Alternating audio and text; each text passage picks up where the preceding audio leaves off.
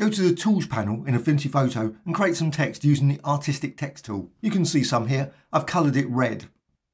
With that text, what I can now do, I can select it using the Move tool and then go to Select and Selection from Layer. And that will add some marching ants around just the text.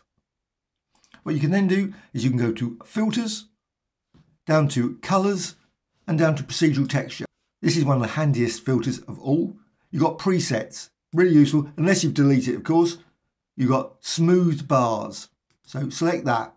And you can see now you've got your smooth bars there. And I'm going to go for something like 300 to get very sharp, intense lines through this. However, I don't want black and white.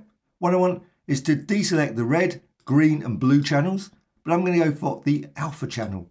And now you can see obviously I've got the red colour from the type.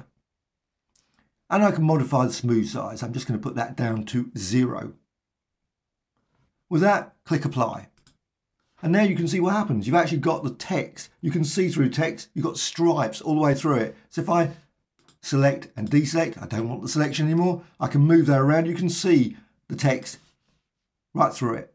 And also what you can do, you can always hold down the Alt Option key and duplicate this text. And maybe create a nice sort of distressed text design like that. This is some text, etc. Hope you found this of interest. Thank you much.